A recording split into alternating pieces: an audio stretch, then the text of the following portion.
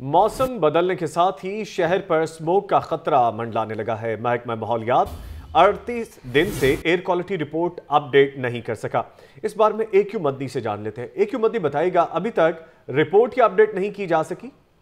ہاں جی بالکل محکمہ ماحولیات کی جانب سے ایک جانب جو ہے وہ سموک کے ممکنہ خطرے سے نمٹنے کے لیے اقدامات کیے جا رہے ہیں۔